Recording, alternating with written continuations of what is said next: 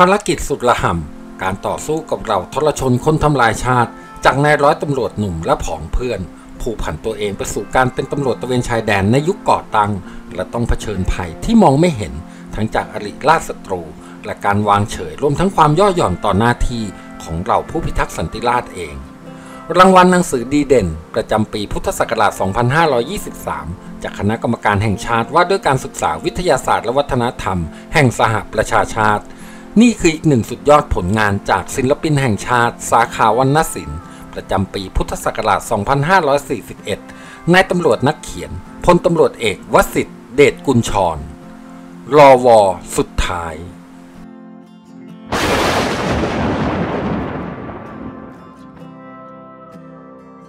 คำสั่งประหารชีวิตนายพรมพงษ์เฉวง ผู้ต้องหาคนสำคัญในคดีคอมมิวนิสต์ยังไม่ทำความตระหนกตกใจให้ในพันตำรวจตรีวีบุญแต่งเท่ากับคำสั่งอีกฉบับหนึ่ง ซึ่งตามมาติดติดๆกัน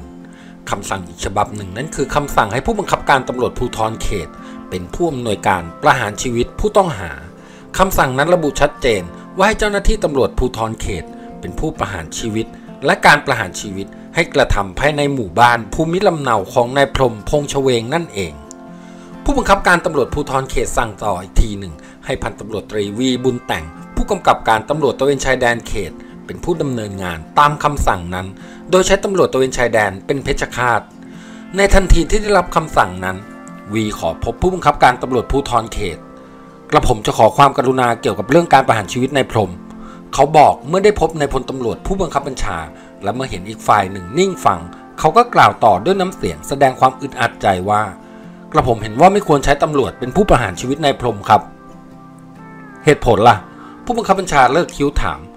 ตำรวจกับราษฎรมีความเป็นปฏิปักษ์ต่อกันและกันอยู่มากแล้ว วีอธิบาย ความเกี่ยวพันระหว่างเราและราษฎรจะเกิดขึ้นก็ต่อเมื่อมีการจับกลุ่ม เราจับกลุ่มเขาเป็นส่วนใหญ่ เขาจะทำความผิดหรือไม่นั้นเป็นอีกปัญหาหนึ่ง โดยธรรมดาโดยสันดานไม่มีราษฎรคนไหน ชอบขี้หน้าตำรวจ การใช้ตำรวจประหารชีวิตนายพรหมซึ่งเป็นทั้งอดีตครู เป็นทั้งอดีตสมาชิกสภาผู้แทนราษฎร เป็นผู้ที่ราษฎรหมู่บ้านนั้นนิยมนับถือ จะยิ่งทำให้เราห่างไกลจากราษฎร และทำให้ความเป็นปฏิปักษ์ของราษฎรรุนแรงกว้างขวางยิ่งขึ้นก็ผมพิจารณาดูเรื่องพฤติการของนายพรหมแล้วเรื่องนี้ลึกซึ้งอย่างยิ่ง และการแก้ปัญหาในอนาคตจำเป็นต้องได้รับความร่วมมือจากราษฎร เดี๋ยวก่อนนะ ผู้บังคับการตำรวจภูธรขัดขึ้น แล้วคุณเห็นว่าใครควรเป็นผู้ประหารชีวิตนายพรหม เจ้าหน้าที่ของกรมราชทัณฑ์ครับ วีตอบอย่างนอบน้อมและเสริมว่า เป็นหน้าที่ตามกฎหมายของกรมราชทัณฑ์อยู่แล้ว ผู้บังคับการตำรวจภูธรเขตพยักหน้าช้าๆและยังมีอาการคลุ่นคิดอยู่ แต่ก็ทำให้วีรู้สึกมีความหวังภูมิกับนายพลตำรวจเรียกขณะที่จ้องดูหน้าเขา คุณคิดว่าการประหารชีวิตนายนี่นะ่ะสมควรไหมนายพรหมมีความผิดแน่นอนครับ วีบ่ายเบี่ยง แต่อีกฝ่ายหนึ่งไม่ยอม ข้อนั้นนะผมทราบ ผู้บังคับการตำรวจภูธรว่า ผมแลเห็นพยานหลักฐานทุกอย่างเท่า ๆ กับที่คุณเห็น แต่ผมอยากฟังความเห็นส่วนตัวของคุณ การประหารชีวิตในพรมเนี่ย คุณรู้สึกว่าสมควรหรือไม่สมควร ถ้าท่านถามกระผมขอเรียนตรงๆ วีตัดสินใจ กระผมเห็นว่าไม่เป็นการสมควรครับ ประการแรกเพราะเป็นการใช้อำนาจตามรัฐธรรมนูญ การปกครองราชอาณาจักร หรือรัฐธรรมนูญฉบับชั่วคราว ซึ่งถ้าจะว่ากันในแง่กฎหมายแล้ว ไม่ใช่อำนาจตามกฎหมาย หรือถ้าเป็นอำนาจตามกฎหมาย ก็เป็นอำนาจของกฎหมายที่ฝ่ายปกครองเขียนเอง โดยไม่ได้ผ่านรัฐสภาไม่เหมือนกับประมวลกฎหมายอาญา ประการที่ 2 พยานหลักฐานที่เรามีอยู่ ท่านเองก็พูดเมื่อกี้นี่เองว่า พอที่จะเอาผิดกับนายพรหมได้ ก็ผมเห็นว่าเอาผิดได้ทั้งตามประมวลกฎหมายอาญาและกฎหมายป้องกันการกระทำอันเป็นคอมมิวนิสต์ทั้งสองฉบับเสียด้วยซ้ำเมื่อพยานหลักฐานเพียงพอเช่นนี้ ก็ผมจึงเห็นว่าน่าจะดำเนินคดีกับนายพรหมในทางศาลศาลอาจจะไม่ประหารชีวิตนายพรหมนะนายพลตำรวจแย้งถูกของท่านครับนายพันตำรวจตรีอนุโลม ศาลอาจจะไม่ประหารชีวิตในายพรหมอาจเพียงจำคุกในพรหมแต่การพิจารณาคดีของศาลซึ่งเปิดเผยและกินเวลา มันอาจทำให้ราษฎรทำให้ประชาชน แลเห็นความผิดหรือความชั่วของนายพรหมและไม่เกิดความรู้สึกเป็นปฏิปักษ์ต่อรัฐบาลหรือต่อเจ้าหน้าที่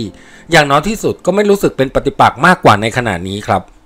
เมื่อแลเห็นผู้บังคับบัญชายังนิ่งฟังอยู่อย่างสนใจ วีจึงกล่าวสืบไปว่า และอย่างหนึ่ง ก็ผมแลไม่เห็นว่าการประหารชีวิตนายพรหมจะทำให้เกิดประโยชน์อย่างไร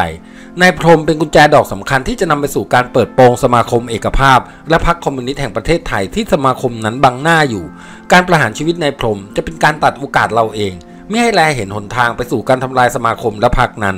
กระผมกลับคิดว่าการประหารชีวิตนายพรมนั่นแหละ คือสิ่งที่คอมมิวนิสต์ต้องการให้เราทำวีแทบไม่เชื่อหูตัวเอง เมื่อได้ยินผู้บังคับการตำรวจภูธรเขตสั่งว่า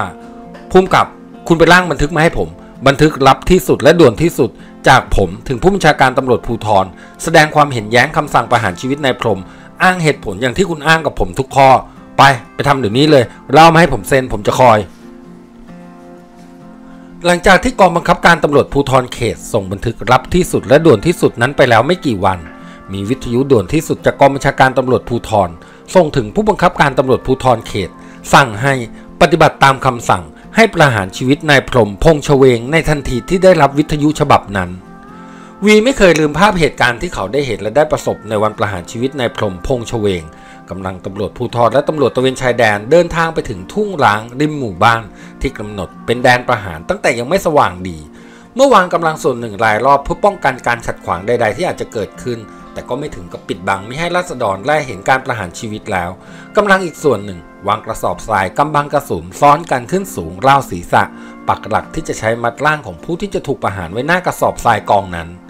ผู้กำกับการตำรวจตะเวนชายแดนเตรียมกำลังเพชฌฆาตไว้หนึ่งหมู่ โดยคัดจากในสิบพลตำรวจที่แม่นปืนล้วนๆก่อนออกเดินทาง วีชี้แจงภารกิจอย่างละเอียดที่สุดเท่าที่จะทำได้ ให้ในายตำรวจเหล่านั้นเข้าใจ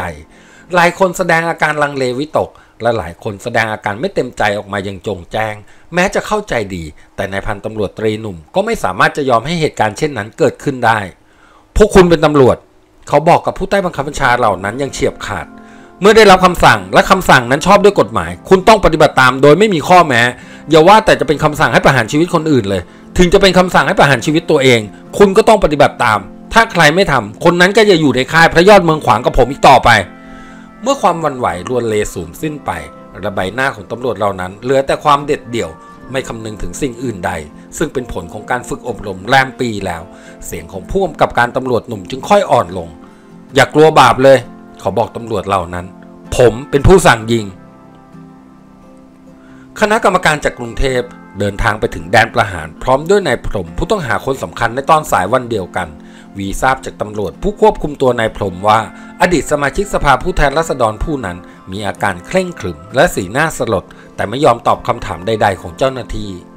เมื่อถึงทุ่งร้างอันเป็นที่ที่เขาจะต้องจบชีวิต เขาเดินผ่านราษฎรจำนวนหลายร้อยคนเข้าไป โดยไม่มีโอกาสจะได้พูดจากับผู้ใดเพราะเจ้าหน้าที่ผู้ควบคุมอย่างแน่นหนาเหล่านั้นไม่ยอมเปิดโอกาสให้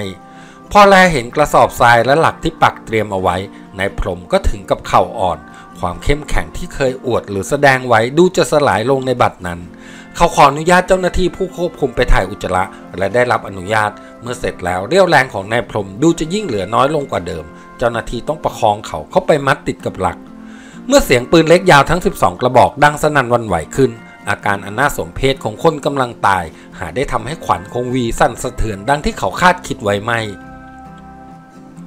เลือดสดๆที่แดงฉานออกมาทันทีทั่วหน้าอกของนายพรหมหรือแม้แต่กระสุนนัดหนึ่งที่พลาดเป้าหมาย พุ่งสูงขึ้นไปเจาะเอาขากรรไกรขวาของนายพรหมเป็นเหตุให้แก้มด้านนั้นขาด และปากของนายพรหมอ้ากว้างออกเหมือนจะร้องแต่ไม่มีเสียง ก่อนที่ศีรษะของนายพรหมจะพับมาข้างหน้า ไม่ได้ทำให้อารมณ์ของนายพันตำรวจตรีหนุ่มเปลี่ยนแปลงเลยแม้แต่น้อยหูของเขาแทบจะไม่ได้ยินเสียงกำปนาตของปืน เพราะจินตนาการของเขาล่องลอยลุดหน้าไปข้างหน้าอย่างรวดเร็ว และครอบคลุมช่วงเวลาหลายปี คืนนั้นและคืนต่อๆมาอีกหลายคืน วีฝันเห็นช่วงเวลาหลายปีช่วงนั้น ในฝันเขาไม่ได้เห็นอย่างอื่น นอกจากเลือด เลือด เลือดของคนไทย และในฝันเขาไม่ได้ยินเสียงอื่น นอกจากเสียงปืนของคนไทย การสืบทราบค้นพบ และทลายสมาคมเอกภาพ ตลอดจนการประหารชีวิตนายพรหมพงษ์เฉวงทำให้คำว่าคอมมิวนิสต์กลับคืนมาสู่ความสนใจ ความระแวงสงสัยและความหวาดกลัวของคนไทยคำลบหนึ่ง คำสั่งของกรุงเทพทยอยกันออกมาไม่ขาดสาย กำชับให้เจ้าหน้าที่ตำรวจออกลาดตระเวนตรวจตราและสืบสวนพฤติการที่อาจจะเป็นคอมมิวนิสต์ภายในเขตรับผิดชอบของตนโดยเข้มงวดและไม่ลดละ ขนาดเดียวกันกำลังส่วนอื่น อาทิ ตำรวจสันติบาล กรมประมวลราชการแผ่นดิน และฝ่ายรักษาความปลอดภัยของกองทัพต่างๆ ออกจากกรุงเทพในรูปและลักษณะต่างๆ กัน จุดหมายปลายทางตรงกัน ภาคอีสานของเมืองไทย